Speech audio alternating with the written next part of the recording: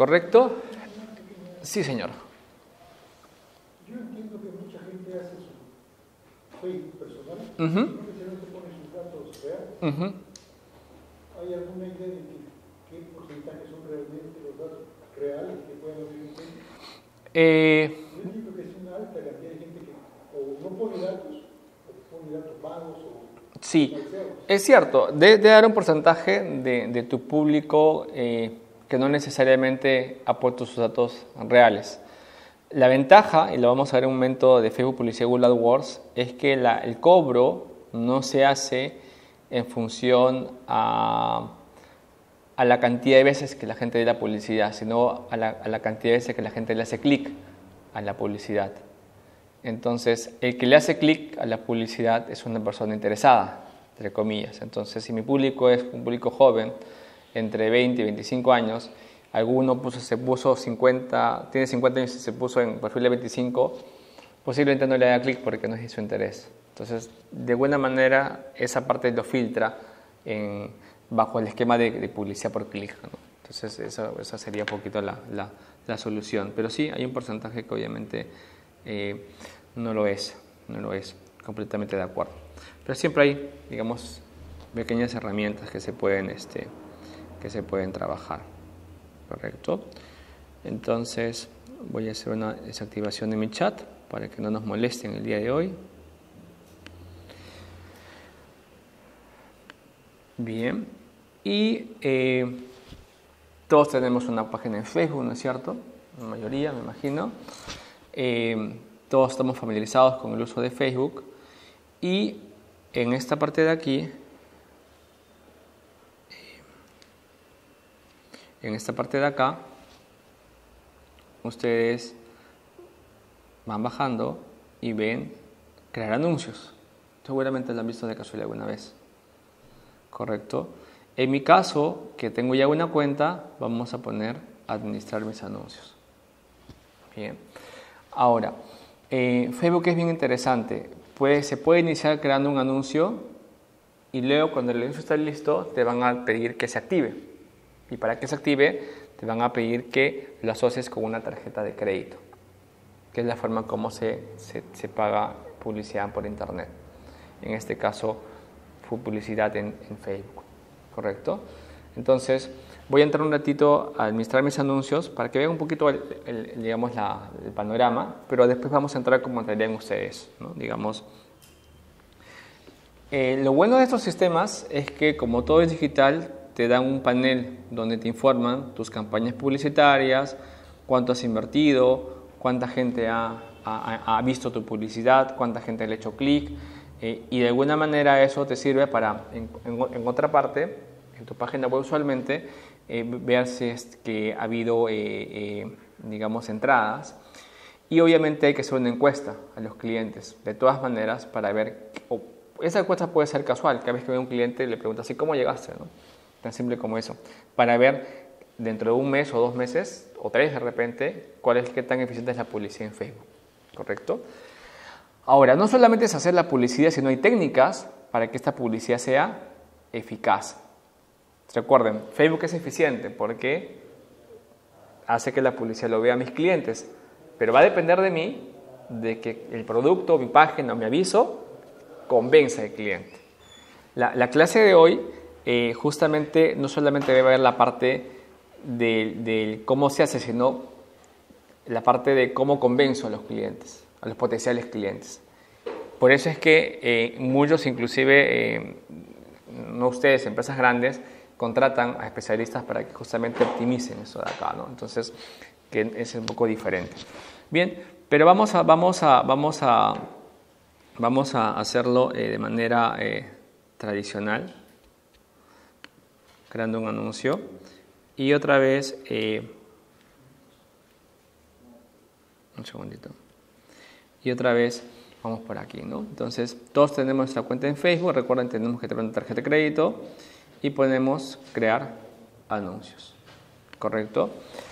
En este punto muchos me dirán, Edwin, pero si no tengo una página web, ¿eso implica de que mi, mi publicidad no, no, no, no funciona? La respuesta es no. Uno puede mandar la publicidad a una página en Facebook también, si lo desea. Correcto.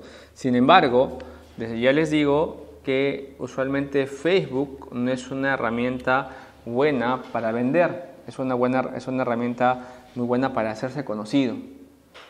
Una página de Facebook hace que la gente conozca mis novedades, interactúe conmigo, me siga, justamente se le llama seguidores, pero no necesariamente completa el círculo de la venta. Es recomendable de que tengan un sitio físico o una página web. O una página web, un blog, algo así. O un blog. Un blog, una página web, un sitio físico. Eh, pero, pero en el caso de, que quieran quedarse con la página de Facebook, también es válido, ¿no? Pero, Es una opción más. así es, es una opción, pero indicando, indicando de que la, la gente al final va a querer un sitio donde ver la información de manera ordenada. Porque Facebook lo que hace es te, te- te da novedades de los productos, servicios, etcétera, pero no te está diciendo, oye, ¿qué es lo que ofrezco? ¿no? Eh, como les digo, si nos alcanza tiempo eh, al final de la clase, eh, les voy a. eh, que tenemos una cuenta que hemos hecho en Wix, que es un sistema gratuito y semi gratuito, para que ustedes puedan, para los que digamos no quieren invertir en una página, al menos tengan un, un sitio donde poner el catálogo, los productos y servicios. Y una versión también paga en, en Wix en la cual eh, puedes poner el dominio, ¿no? Pero lo vemos más, más adelante. Ok, entonces estamos aquí. Me avisa si, si, se ve, si se ve chiquito o cualquier cosa. En este caso, eh, en este caso queremos promocionar nuestra, eh, nuestra página. ¿Correcto? Perdón. a mi sitio web a mi sitio web. Página en Facebook, sitio web. ¿Correcto? Entonces, en este caso, ponemos la página web que vamos a, a trabajar. En este caso es mi empresa propia, y le vamos a poner un nombre a la campaña. Bien. Eh, una cosa interesante de Facebook es de que yo recomiendo de que si tienes diferentes tipos de clientes y diferentes productos, hagas diferentes campañas. Aprovechemos, aprovechemos de que la publicidad digital permite hacer campañas con cantidades muy pequeñas, con lo cual permite de que mi presupuesto lo pueda cementar en múltiples campañas.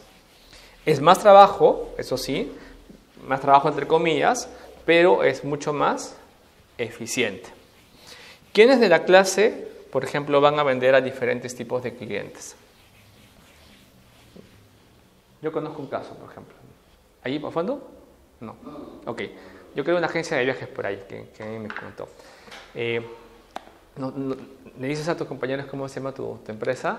Ah, mi empresa se llama Go Beyond Trips. Ok, Go Beyond Trips es una empresa, es una agencia de viajes, ¿correcto?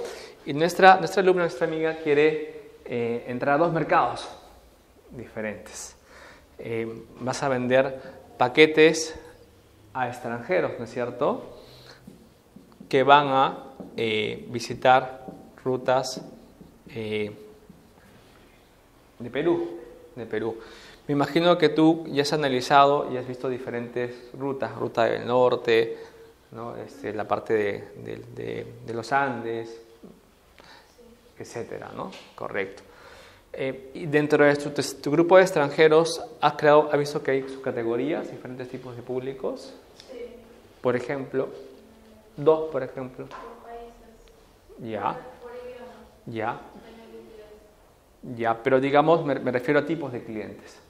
No sé, los españoles les gusta ser mochi- mochileros, a los americanos les gusta... A ver, a- dame dos casos, digamos, que has encontrado, digamos, este, Agencias les gusta hacer trekking. Canadiense. Ok. Canadá.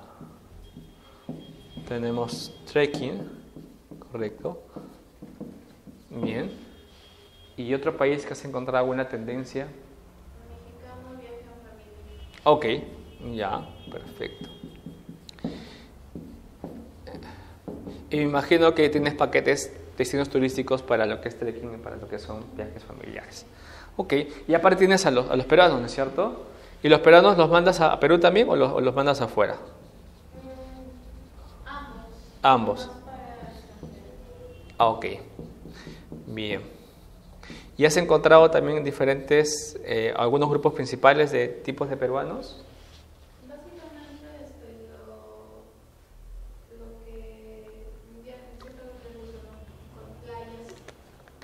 ¿Y qué tipo de público son jóvenes, adultos, casados? Playa se refiere a Rivera Maya, Caribe, Claro, con alguien, todo incluido. toda esa zona, ¿no? Donde todo está todo incluido. Ok, bien. Bueno, tenemos acá tres opciones. Entonces, un primer error que cometemos en Facebook es decir, yo tengo como inversión para gastar al, al- al mes, vamos a suponer unos, eh, en todo caso tiene que ser algo fuerte, ¿no es cierto? Unos 500 dólares por lo menos. Vamos a ponerle mil para, para, para, para hacerlo redondo, pero no, no significa de que todos tengan que invertir mil dólares al mes, por si acaso. Voy a poner como ejemplo. Entonces, un error, un error, este, un error que muchos cometen es hacer una sola publicidad, un solo banner, para que la gente entre a tu página web y la conozca, ¿no? Puedes poner visita, Beyond, ¿cómo es? Go Go Beyond Travel, Go Beyond Trip, ¿no? Go Beyond Trips y viaja por el mundo. Haces un, un, un logotipo, lo pones ahí y, lo pones para que todo tipo de personas lo vean, ¿correcto? Entonces tienes varios problemas ahí. Número uno, que posiblemente la publicidad lo vea gente que no necesariamente es tu mercado objetivo. Y la gente que es tu mercado objetivo la va a ver y al hacer clic a dónde va a entrar. ¿A dónde va a entrar? A la página principal. Pero el canadiense que habla francés o inglés quiere ver un trekking, va a tener que buscar con paciencia y buen humor hasta encontrar el, paquete, cuando de- de- debería llegar directamente a la página donde está justamente lo que ellos desean. Recuerda que en promedio la gente le hace dos clics máximo después de que entra a tu página web. En promedio, yo tengo estadísticas en la mía, es este 1.9. O sea, entras un clic más, otro clic más y ahí se acabó la historia, en promedio. Entonces, eh, si tú lo, los mandas a, la página principal, que hace la mayoría de gente, la publicidad no- no funciona. Entonces, lo que vamos a hacer es algo más interesante. es vamos a hacer una campaña de publicidad, una para el exterior y otra para el mercado local.